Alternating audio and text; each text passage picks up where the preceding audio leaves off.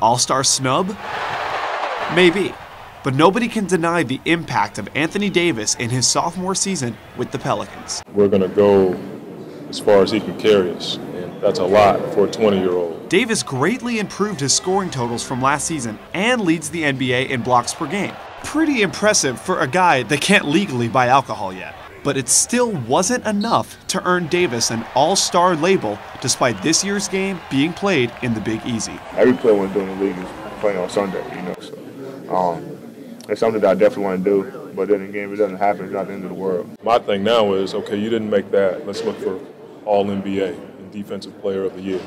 And, and if you don't, if you keep playing like that and they don't give it to you, then we're all going to have a problem. Anthony Davis's rise may not have been enough to get him in the All-Star game, but it's come at the perfect time for the Pelicans as they try to turn their season around. With three of their top six scorers sidelined indefinitely, the team went through a brutal eight-game losing streak last month. But they've since won five of their last seven games as players begin adjusting to their new roles. They don't have much choice, you know, and I think it, it, it's settled in for us that this is our team.